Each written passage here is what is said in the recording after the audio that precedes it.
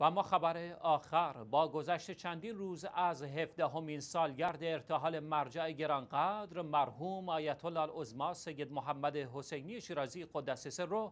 مجالس بزرگداشت و یادبود ایشان در اقصا جهان همچنان در حال برگزاری است.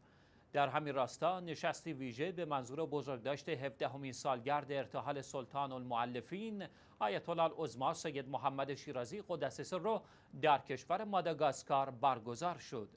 به گزارش شیعه ویوز در این نشست که از سوی مدرسه علمیه اهل بیت علیهم السلام در شهر ماجنگای ماداگاسکار برپا شد سخنرانان از نقش بارز مرجع راحل در انتشار مذهب تشیع در جهان و به ویژه در قاره آفریقا گفتند و با بیان افکار و نظریات معظم الله یاد و خاطره ایشان را زنده نگه داشتند. در این نشست که با استقبال جوانان روبرو شد سخنرانان به فعالیت‌های گوناگون مرحوم آیت الله العظما سید محمد حسینی شیرازی قدس سر رو اشاره کردم و تلاش‌های ایشان در نشر فرهنگ و تعالیم اصیل اهل بیت علیهم السلام در جهان را مورد بررسی قرار دادند. همچنین در این نشست با اشاره به تأکید و تشویق مرجع راحل بر تبلیغ دین این امر به عنوان یکی از مهمترین وظایف مردان و زنان مؤمن در انتشار و تبیین واقعیت های اسلام در جهان